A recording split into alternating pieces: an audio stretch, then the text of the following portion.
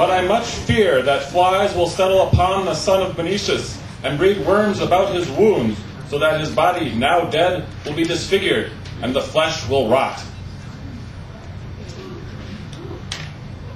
That was in uh, 8th century BC in uh, the Iliad, and what the guy was worried about was the flies landing on the on the dead soldiers, and thus uh, producing maggots. Those are the worms. Aristotle, 400 to 500 years later, was worried or was was saying that still that insects and other organisms, uh, lower organisms, could be spontaneously generated from rotting um, mud or dung. And in the 13th century, Albertus Magnus was still saying the same thing. Rotting wood could give worms, decaying fruit could give rise to bees, moldering leaves to beetles, and there was uh, also the uh, the recipe for mice, and there was a recipe for bees that included burying a dead cow.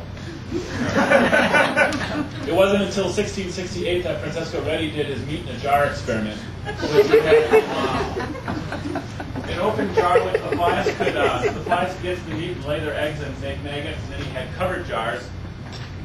Sorry, did you hear that?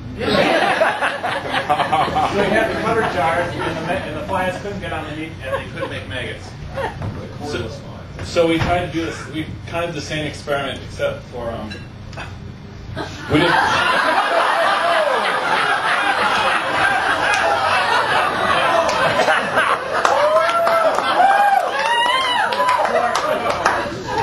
Yes, I'm really disappointed at that.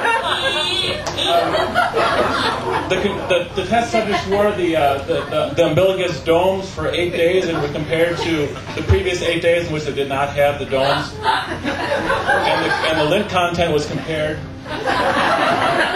before and after. and what we found was that with, with, the umbilicus covered, I'm using a fancy word that's really belly button. With that covered, we did not find any lint in the belly button. And so going back to, to, to Redi's uh, theory, our theory is that there's no lint